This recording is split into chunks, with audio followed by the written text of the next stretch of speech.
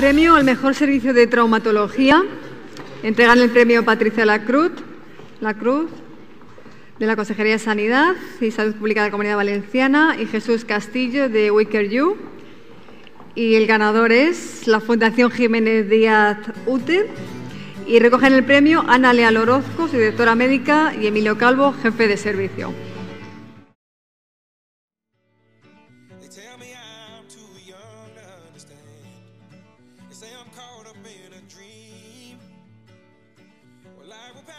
Bueno, supone para un reconocimiento, efectivamente.